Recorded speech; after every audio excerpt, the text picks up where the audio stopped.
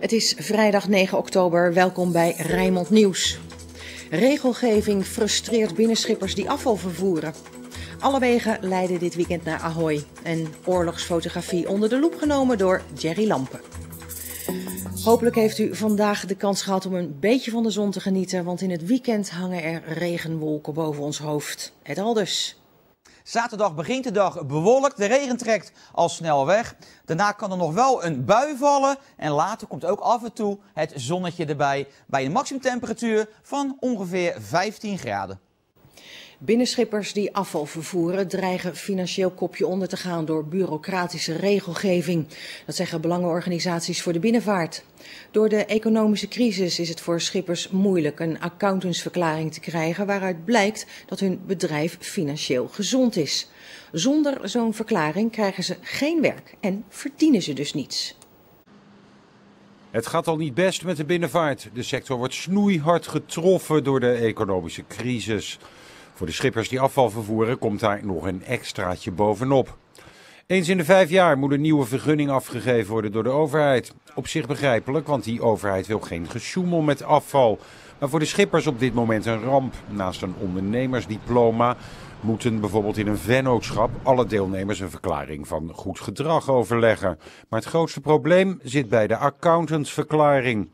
En dat betekent dat op dit moment, en zeker volgend jaar, de binnenvaartondernemers, en dat zijn ongeveer 2500 Nederlandse binnenvaartondernemers die afval vervoeren, uh, niet, waarschijnlijk niet kunnen voldoen aan de eis van de kredietwaardigheid.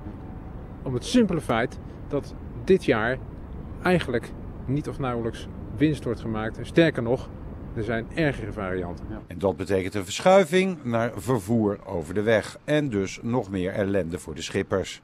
En uh, daar verliezen wij dus uh, ladingen aan. Dat is dus nog eens een extra klap op de huidige economische crisis voor de binnenvaart. De brancheorganisaties pleiten voor één keer een vergunning afgeven in plaats van eens in de vijf jaar. En het opzetten van een streng controlesysteem. Het ministerie van VROM is al enige tijd op de hoogte van de problemen, maar heeft tot nu toe niet gereageerd. Vanmorgen is de eerste paal de grond ingegaan voor de bouw van het nieuwe Ahoy. In januari 2011, als het Rotterdamse Sportpaleis 40 jaar bestaat, moet de verbouwing klaar zijn. Het meest opvallende aan de nieuwbouw is het verhogen van het dak en de uitbreiding van het aantal zitplaatsen. En ook moeten de ontvangstruimte er beter uitkomen te zien. Het grootste gedeelte van de verbouwing vindt in het bestaande Ahoy-gebouw plaats. Maar voor de locatie van het officiële startschot was toch gekozen voor de nieuwe aanbouw. De eerste heipaal werd geslagen, althans, dat was de bedoeling. Want het leek wel de laatste. Is van de week al flink geheid. Een beetje Rotterdams natuurlijk. De heistelling stond er, dus de aannemerdag gaan we vast beginnen. Dus ik geloof niet dat het helemaal de laatste is, maar ik geloof wel de ene laatste, ja. En het is te hopen dat de verbouwing het komende jaar net zo voortvarend zal gaan, want er valt geen tijd te verliezen. Planning is strak, uh, want alles moet in Ahoy doorgaan. Dus ook de bouwactiviteiten uh, moet daardoor uh, in ieder geval een strakke planning gemaakt worden. Maar ik heb er alle vertrouwen in, dus we zijn vandaag op tijd begonnen. Dus het wordt ook op tijd opgeleverd. Ik voel bij iedereen, gemeente Rotterdam, de opdrachtgever, de eigenaar van het gebouw, de, de aanneemcombinatie onder leiding van de BAM en onze mensen, ja, dat die klik er is. En dat het, dat het wel af en toe best wel eventjes hard tegen hard zal gaan. Maar dat geeft niet, hoor bij zo'n proces. Tot januari 2011 wordt Ahoy voor een bedrag van ruim 40 miljoen euro grondig aangepakt. Achter de schermen wordt achterstallig onderhoud gepleegd, waar bezoekers niet zoveel van zullen merken, maar ook in de grote zaal verandert er iets. We hebben nu twee ringen, eerst een tweede ring.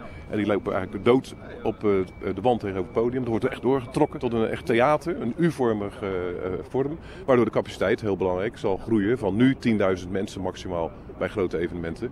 Naar pakweg zo'n 13, 13.500. En dat is wel heel belangrijk. Na het ABN AMRO tennistoernooi in februari gaat het Sportpaleis dicht en wordt het dak verhoogd. Daardoor vinden tussen maart en september de grotere activiteiten in hal 1 plaats. Alleen voor het Nossi Jazz Festival wordt een uitzondering gemaakt.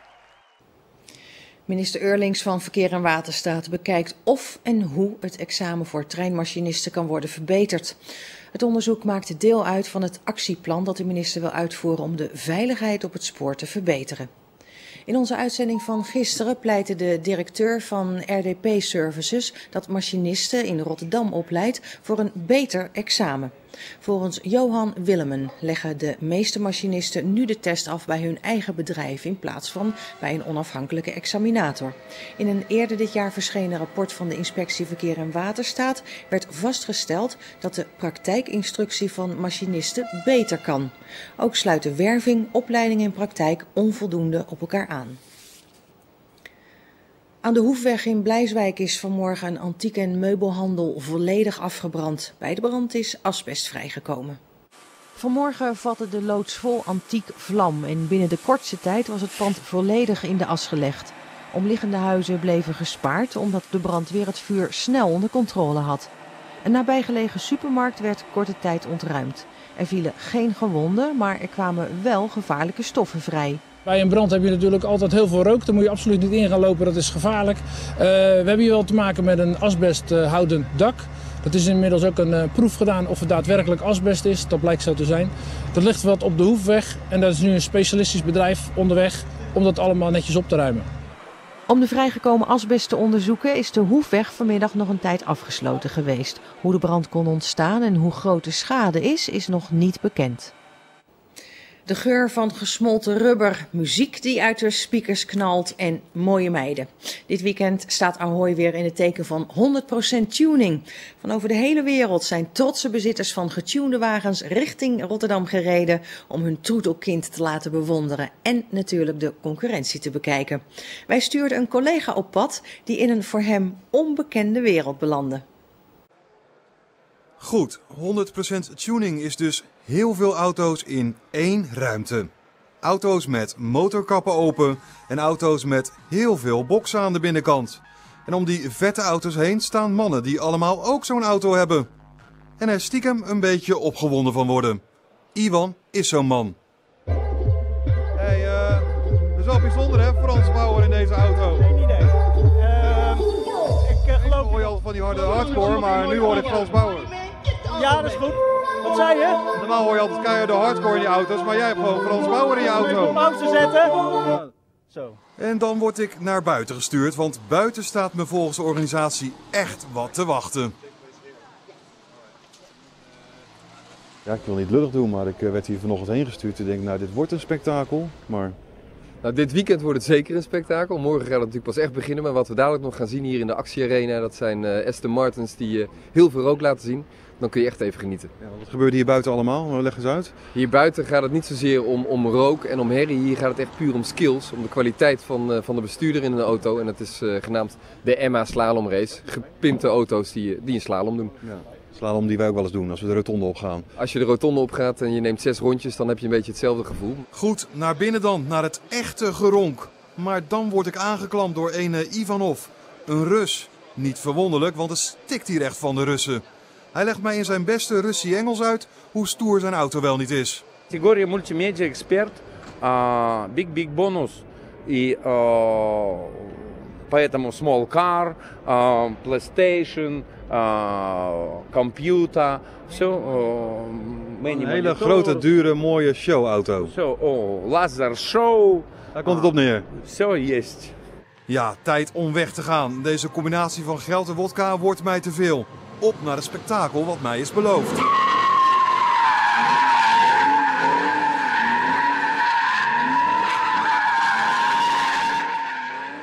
Ziet er allemaal mooi uit, toch een minpuntje. Ik heb nog geen babes gezien, die zijn er toch ook altijd uh, tijdens dit soort weekenden? Ja, ik heb me laten vertellen dat er een, een, een heel aantal uh, van, die, uh, van die mooie meiden komen. Dus dat komt helemaal goed dit weekend. Maar die zit nog ergens vast bij een tankstation of zo? Ik, ik denk het, ja. Ik denk het. Okay, veel plezier hè? Ja, dankjewel. Inderdaad.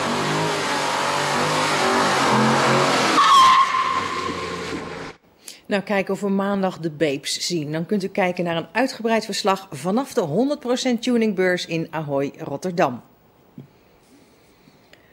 Je staat aan de vooravond van de opening van een restaurant. Hebt 700 gasten uitgenodigd voor een feestelijk diner, maar een dag van tevoren ontbreekt er nog één ding: de keuken. Toegegeven, het was even spannend, maar het is gelukt. Chalet Suisse heropent vandaag de deuren. De zaak is een begrip in Rotterdam, met de vertrouwde geweien aan de muur en kaasfondue op de kaart. De rode loper wordt uitgerold en vastgezet, de glazen worden gepoetst en in de keuken wordt kortsachtig gewerkt om straks klaar te zijn voor de 700 gasten.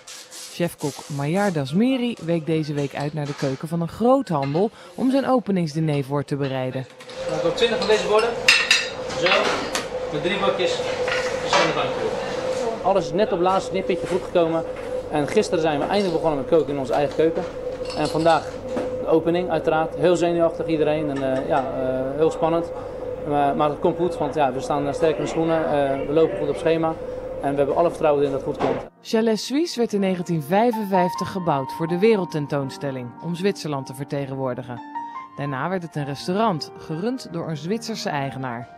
In 2007 werd het chalet, dat toen al een tijd leeg stond, heropend door de kleinzoon van die eigenaar. Maar anderhalf jaar geleden ging de zaak over de kop. Nieuwe eigenaar Janine van Vliet heeft bijzondere herinneringen aan de zaak. Ik kwam in Chalet Suisse kwam ik, uh, ja, drie keer in de maand met mijn vader en mijn moeder uh, kaas fonduren. Nou ja, dat is al een jaartje of uh, 25, 30 geleden. En ja, ik denk dat iedere Rotterdammer wel trots is op Chalet Suisse. Het is toch een bijna monument. Chalet Suisse houdt zijn Zwitserse karakter. Met hertengeweien en een bank met koeienhaar. Er is hard gewerkt om de zaak op te knappen. En om zijn vrouw een hart onder de riem te steken tijdens al dat werk... strooide Janines man duizend rode rozen uit boven het chalet. Met een helikopter. Ik stond in geloof met kaplaarsjes te verven zelf. En hij zegt, ja, ik doe eens iets geks. In plaats van ze te geven, ik laat ze op dak vallen. Om mij een beetje power te geven. Nou, is dat romantisch of niet? Ik denk dat iedere vrouw daar toch van droomt. Ik bedoel, er zijn honderdduizend hier verloofd en getrouwd. Maar er is geen dame die duizend rozen op de dak heeft gekregen. De kogel is door de kerk en deskundige jury heeft namens Detailhandel Nederland bepaald dat Leerdam de mooiste dorpskern van Nederland heeft. Deze Zuid-Hollandse stad trok een lange neus naar het Groningse Haren en Oost-Gelre. Volgens de jury heeft Leerdam een rijke mix van groen, cultuurhistorie en recreatiemogelijkheden. De binnenstad kenmerkt zich door een compacte structuur waarin de belangrijkste functies vertegenwoordigd zijn, vermeldt het juryrapport. Leerdam draagt de titel tot en met mei 2011. Steeds meer gemeenten stappen over naar een nieuw telefoonnummer voor vragen en klachten van burgers. Ook de gemeente Rotterdam. De klantenservice is vanaf vandaag te bereiken op het nummer 14010. Uiteindelijk moeten alle gemeenten gebeld kunnen worden via één telefonische ingang. Het getal 14 plus het netnummer van de gemeente. 14010. Dat is het nummer dat je voortaan moet draaien met vragen, klachten of meldingen gericht aan de gemeente Rotterdam. Met dit nieuwe servicenummer volgt Rotterdam het landelijk beleid. Het is de bedoeling dat zoveel mogelijk gemeenten te bereiken zijn door het getal 14 te draaien, gevolgd door het netnummer. Er zijn uh, eind van dit jaar 50 gemeenten in Nederland die zijn aangesloten op de 14-reeks. Ja, als tweede stad van Nederland kunnen we natuurlijk niet bij achterblijven. Dus vandaar ook Rotterdam aangesloten op 14010. Wanneer je het servicenummer belt, krijg je callcentermedewerkers aan de lijn of mensen die thuis werken, bijvoorbeeld vanwege een handicap. Karen Boom uit Rotterdam-Delfshaven is een van deze thuiswerkers. Goedemiddag, gemeente Rotterdam. U spreekt met Karin Boom. Waarmee kan ik u van dienst zijn? Mijn lichamelijke toestand is niet zo goed. Ik, ik heb een reuma. Dus uh, ja, die reistijden naar Zuid-Ladermeer is gewoon heel erg ver voor mij. Een uur heen en een uur terug. Dus dat vermijd ik dan. Dus dat is voor mij een stuk rustiger. Een nadeel aan het nieuwe nummer is wel dat het niet meer, net als het oude 0800-nummer, gratis gebeld kan worden. Voor 14010 betaal je het lokale tarief. De 14 race kan gewoon om allerlei technische redenen niet gratis uh, geëxporteerd uh, worden. Dat ligt niet aan, uh, aan de gemeente. Dat is gewoon een gegeven, dat is zo. Wat denkt u van het nieuwe nummer 14010? Um, het zal best wel een overgang zijn, omdat het altijd een gratis nummer is geweest. En nu moeten ze dus het lokale tarief betalen. En dan hebben ze dacht het idee van, nou het lokale tarief, oh, dan moet ik heel veel gaan betalen. Terwijl dat eigenlijk niet zo is. Op 14 oktober wordt het nieuwe servicenummer officieel gelanceerd. Maar het nummer is al wel volop in werking. Dan wens ik u nog een prettige dag nog aan. Ja, bedankt voor de hulp. Iedere dag zien we oorlogsbeelden. We waren bijvoorbeeld live getuigen van de inval in Irak en de beschietingen in Gaza. Dit dankzij het werk van honderden fotografen en cameramensen. Een oorlogsfotograaf van het eerste uur was de Hongaarse Robert Kappa. Hij werkte tussen 1933 en 1954. Hij kwam op het leven toen hij op een mijn stapte. Vanaf zaterdag is het in het Nederlands Fotomuseum in Rotterdam een overzichtstentoonstelling van zijn werk te zien, getiteld This is War.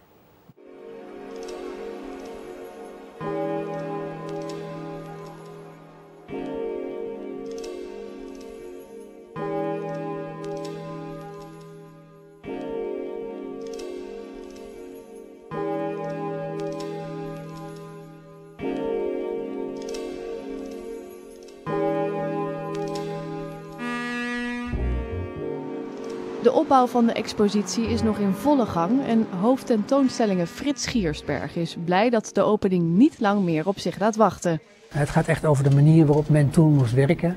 Robert Capa is eigenlijk behalve een oorlogsfotograaf ook een belangrijke fotojournalist geweest, omdat hij beeldverhalen maakte. Uh, je moet je voorstellen dat de meeste informatie, visuele informatie over oorlogen, in die tijd uh, zagen mensen in de tijdschriften, geïllustreerde tijdschriften.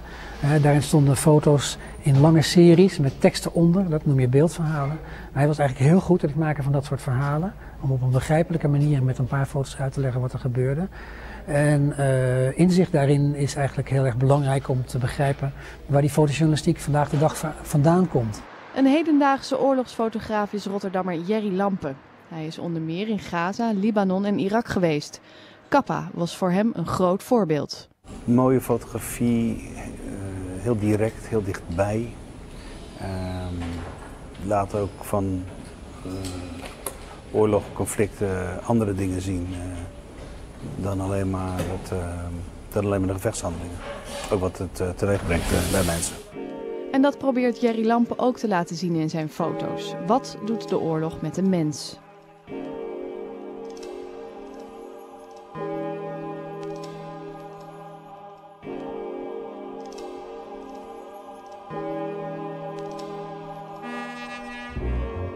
Volgens Jerry Lampen kon Robert Kappa veel dichterbij komen.